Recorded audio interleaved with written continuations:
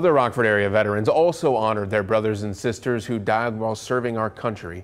Vietnam Veterans Society held a ceremony at the LZ Peace Memorial on Guilford Road.